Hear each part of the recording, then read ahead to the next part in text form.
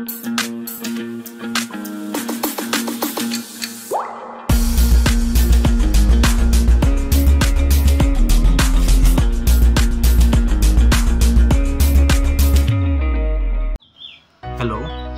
I'm Amit Kumar Panda. I'm from Balasore, Odisha. I have done my BTech in mechanical stream in 2000, 2014 to 2018. Uh, after BTech completion, I got job in non-IT field.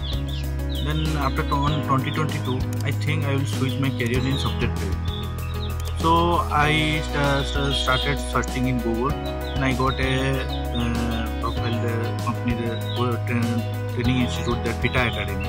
On FITA Academy, I started the course on testing, and after completion testing, I got job in two months.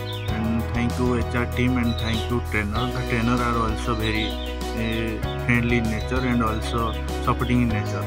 Uh, they trained me very well. And after that, after the completion the course, when I am any facing issue, then I asking about them. Then Pradeep sir are very friendly in nature. He will help me to solve the resolve the issue.